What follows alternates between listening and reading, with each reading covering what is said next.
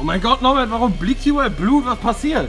Hey Leute, ich bin Jimmy, der Praktikant bei Zoo Zayak hier in Duisburg. Und wir haben die einmalige Chance, alle Tiere in Norberts Welt kennenzulernen und auf alle animalischen und absurden Fragen eine Antwort zu bekommen.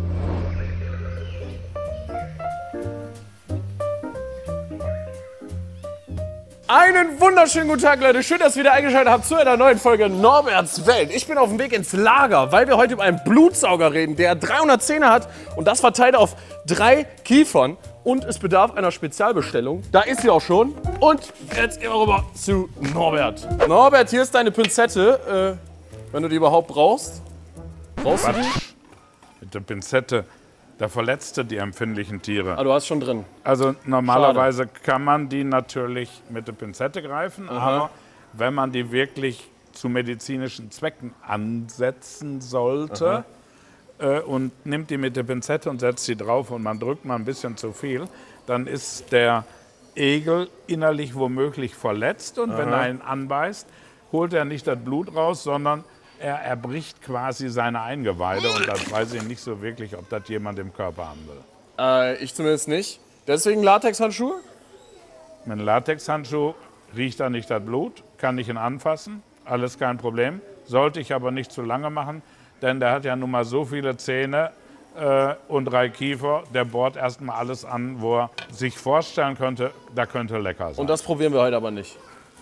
Ja, ich hatte gedacht, wir machen das beim Praktikanten mal ohne Handschuhe. Also ich muss ganz ehrlich sagen, mich triggert schon, dass wir das mal machen, dass wir uns so einen Blutegel mal auf die Hand setzen, weil scheinbar, du hast gerade gesagt, medizinische Zwecke, Therapiemittel, also was Schlimmes kann da ja nicht dran sein an so einem Ja, Blutegel. ja, also ich würde so einen Blutegel jetzt rausnehmen und dir mal einen aufs Auge setzen. Ich weiß also nicht, das mit Blut habe ich schon oft gehört und so, aber ob der auch ein Auge aussaugen kann, das wäre mal ein Versuch, aber den würde ich nicht als Selbstversuch machen. Dann nehme ich einen Praktikanten immer für. Okay. Praktikanten gibt es ja nun mal genug und äh, wird sich Ah, der ich bin, Schaden ich bin schon unersetzbar, ne? Ja, du bist auf alle Fälle unersetzbar. äh, das war das Stichwort, ich setze mich mal. Ja, dann setzen wir uns mal hin. Wolltest du dich jetzt mit mir über Blutegel unterhalten? Ich will mich auf jeden Fall mit dir über Dass Blut. du die nicht queren sollst mit der Pinzette, hatte ich dir schon gesagt. Da Hast du mir erzählt. mehr gibt es eigentlich zum Blutegel auch nicht Du zu schon wieder erzählen. verkackt. Also bitte nicht Blutegel mit der Pinzette. Also auch nochmal an die Zuschauer, dass das Aquarium gerade zwischen uns steht. Und wenn Blutegel satt ist, braucht er, braucht er auch nur einmal im Jahr gefüttert werden. Womöglich war gerade die Fütterung. Also brauchen wir das jetzt auch nicht zeigen. Okay. Hast du sonst noch Wünsche? Nee, das war's. Ich das habe heute sowieso keine Zeit, ist also schon 15 Uhr Nachmittag. Äh, ist eigentlich so meine Mittagsschlafenzeit. Ich müsste jetzt aufbrechen. Ich glaube, ich gehe dann. Hat mich gefreut. Wir sehen uns dann. Also, gut. Nein, natürlich nicht. Warum heißen die Blutegel? Der Blut ist ja ziemlich klar. Und Egel, also ich wusste das nicht. Ich muss ehrlich sagen, ich habe also nachgeguckt. Das kommt von Esches und das heißt kleine Schlange. Ich glaube aus dem Griechischen oder so, verstehe ich überhaupt nicht. Dass die Deutschen da keinen Namen gefunden haben, aber bitte. Ich würde mir den jetzt mal so nehmen, wo der ja scheinbar mich total lieb hat. Okay, das zweite Debüt mit Norbert Zayak. Das erste Debüt war ein Skorpion auf die Hand setzen, wo ich live dabei war. Ja. Und jetzt bin ich live dabei, wie Norbert Zayak sich einen Blutegel auf die Hand setzt. Ich bin sehr interessiert, was wird passieren. Ich würde den Kameraden hier jetzt, Aber warte mal, hast du einen? Erste-Hilfe-Kasten? Kamerad oder Kameradin, da bin ich mir jetzt nicht ganz sicher. Kann man das sehen? Ja, ein Blutegel ist ein Zwittertier. Da gibt es gar keine Männchen und. Weibchen. Also können wir nicht Kamerad oder kan Kameradin sagen, sondern Kamerades, glaube ich, heißt das dann. Kamera die. Man die, weiß es Nee, nicht. die Kamera hast du ja in der Hand. Also ich würde mir den jetzt mal aufs Knie setzen. Ja, warte mal, ich wollte gerade sagen, Erste-Hilfe-Kasten oder so. Hast du Was sowas? ist dein Erste-Hilfe-Kasten? Ich gehe jetzt einen holen. Ich gehe auf jeden Fall einen holen. Das geht auf jeden Fall Ja, schief. aber das ist, äh, das ist ja, können wir ja später, weil äh, der saugt ja eine Stunde Blut und so lange ist die Sendung nicht. Äh, ihr seht sowieso nicht das bittere Ende. Ich glaube, der menschliche Körper hat 8 Liter Blut. Der passt da nicht in die paar Egel rein. Da hätten wir doch mehr bestellen Wie müssen. viel saugt ein Egel? So 10 Milliliter, 10. 10, Gut, dann haben wir ein einige, guter können 15, ein super guter 20. Können wir einige ansetzen. Ja, So, Norbert, Erste-Hilfe-Koffer habe ich schon mal ja. für Safety. Aber ich dachte mir, das reicht schon nicht. Äh, Ich habe auch den Defi geholt. ja ich glaube, der Defi ist ganz wichtig, nicht für mich. Ich, oder vielleicht doch, wenn du noch mehr hier ranschleppst, dann krieg ich gleich einen Herzstillstand. Ja, deswegen, ja, das ist super. Ich weiß zwar überhaupt nicht, wie man das Ding bedient. Aber Also dann nicht wie. kann nur ja, Sachen schief. So ein Defi kann alleine sprechen. Man macht den Deckel auf und der redet mit einem, das geht alles.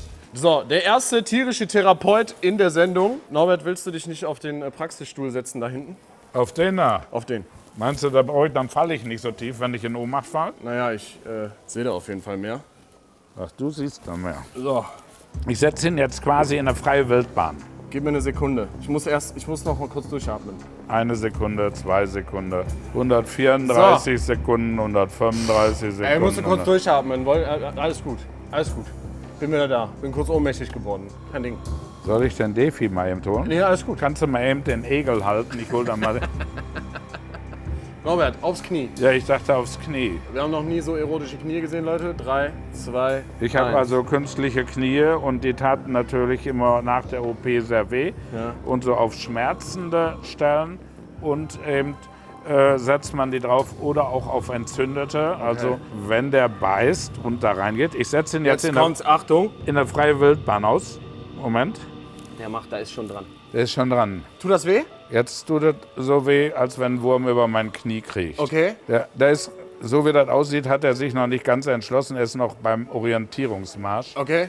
Wir versuchen dann noch mal ein zweites Mal. Zweiter Versuch. Vielleicht hat er ja auch keinen Hunger, denn wie gesagt, ein Blutegel frisst nur im Durchschnitt einmal im Jahr. Ja, wir haben ja noch ein paar Stuntmänner. Wenn der eine nicht geht, dann können wir ja mal mit dem anderen probieren. Der ist das zweite Mal runtergefallen. Schwächling. Ich würde sagen, der ist raus. Äh, äh, ein nächster Therapeut.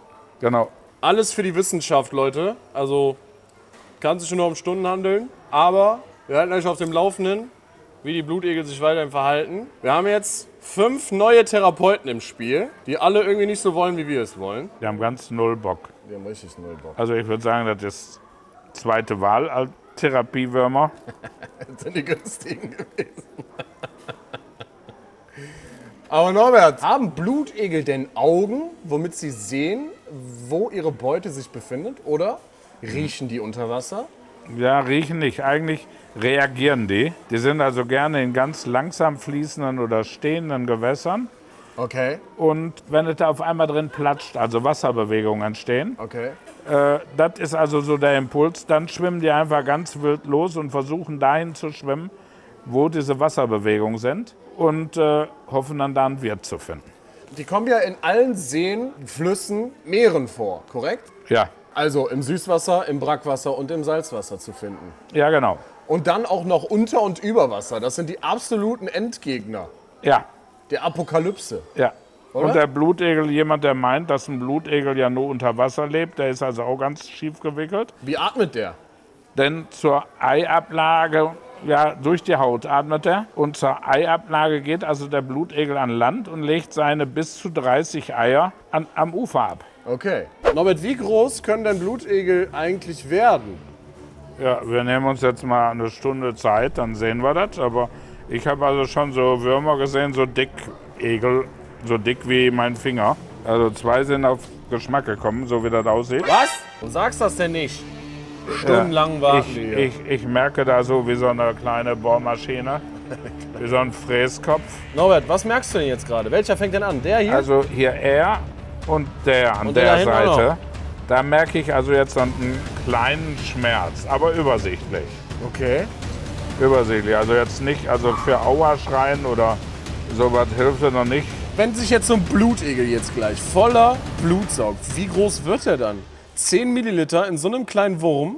Ja, dann ist das nicht mehr so ein kleiner Wurm, dann ist er schon so mindestens wie so ein kleiner Finger dick. Tut's denn weh?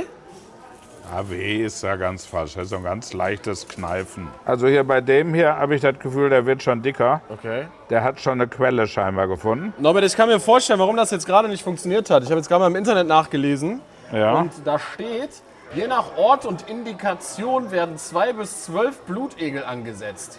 Dafür werden diese in Laborröhrchen gegeben und anschließend mit dem Kopf direkt auf die gewünschten Stellen gesetzt.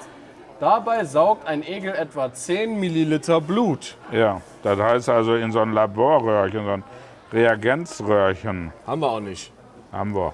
Also ich bin ja der Meinung, die sind schon wesentlich größer. Der wird ja jetzt schon hier voll langsam wie so eine Blutwurst, im wahrsten Sinne des Wortes. Der hier vorne.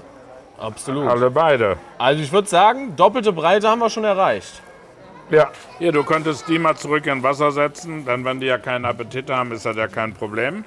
Wie ich das genau mache, weiß ich jetzt noch nicht, aber krieg Das ich ist ganz einfach. Die sind im Handschuh. Okay, ich versuch's mal. Die kannst du mal da reinlegen mein oder Gott, oh mein rausmachen. Oh mein Gott. Okay, dann drehe ich ihn jetzt mal um. Aber die kommen niemals raus. Ja, dann leg den einfach drauf. Die krauchen ja den ganzen Tag, die werden schon gleich den Ausgang finden. Aber nicht, wenn ich ihn so Nee, den ganzen Handschuh aufs Wasser werfen. Alles So, gut. so? Genau. Ja, genau. Ja, Und wenn die also weiter krauchen, kommen die ja gleich zur Öffnung. Und wenn die eben keinen Appetit mehr haben, dann versuchen wir das nochmal in drei Monate. Norbert, du hattest tatsächlich recht. Alle raus. Ja, doch nicht, scheiße. da sitzt noch einer, aber sie sind tatsächlich aus dem Handschuh rausgekommen. Du hast. Du Äh, kannst ja mal auf mich hören, das hilft ja schon mal. Ne? Aber hier die beiden Kameraden sind also jetzt schon zusammen so dick wie die anderen zehn, die keinen Absolut. Appetit hatten. absolut. Aber Norbert, was hältst du davon, wenn ich eine äh, Blutegel-Farm aufmache, wenn sie doch so gut zu medizinischen Zwecken genutzt werden? Äh, da gibt's, oder meinst du, da gibt es schon ein paar? Da gibt es schon ein paar Farmen, die Verdammt. das ganz im großen Stil, die Millionen Blutegel züchten. Äh, das gibt es schon, das ist also alles kein Thema. Ach, schade. Ich würde sagen, wir machen hier Schicht. Ich glaube, ich kann jetzt abhauen, weil du kannst gar nicht abhauen, weil du musst hier sitzen bleiben. Ja, aber wenn ich jetzt weggehe, das wäre nicht so tragisch. Die hängen so fest, die haben sich so reingefräst, Okay. äh, die würden da hängen bleiben und würden sich trotzdem einfach weiter vollsaugen, bis sie ganz voll sind und dann fallen sie ab. Norbert, der Kollege ist abgefallen. Der, der eine ist gegangen. Obwohl, äh, der, So sieht ja, das aus. der war ja noch gar nicht fertig, ist ja noch nie leer, läuft ja immer noch was raus. Ja gut, aber das sieht schon echt fies aus. Ja, aber jetzt läuft das Blut ja sehr dünn. Wenn man das so sieht, ist also nicht ein dickes Blut. Das läuft noch eine Zeit nach, weil dann Blutverdünnungsmittel in die Wunde gespritzt hat, der Egel. Und äh, weil das also dann da drin ist, läuft jetzt ganz dünn. Das kann noch eine Stunde bluten, bis das aufhört. Oh Gott. Aber du verblutest uns hier jetzt hoffentlich nicht. Nö, das glaube ich. Der Tank ist noch voll. Zum Flüssigkeitsausgleich habe ich also Wasser getrunken. Und wenn wir den jetzt gefüttert haben und der vor Schwäche abfällt, weil er nicht mehr trinken kann, brauchen wir den ein Jahr nicht füttern. Mich fragen immer Leute, was ist denn die einfachste Tierhaltung? Hier. Einfach, preiswert, langlebig. Bisschen aufs Knie setzen und fertig. Genau. Man kann auch auf den Bauch setzen. Auf der Stirn sieht vielleicht ein bisschen komisch aus, aber müsste auch gehen. So Norbert, ich habe dich jetzt verbunden, verpflastert. Verpflastert. Alles aus dieser Erste-Hilfe-Kiste. Aber jetzt hier los. Ah, das ist soweit, dass ich das noch erleben darf. Ich muss dich hier verarzten. Koffer auf. Hilfe!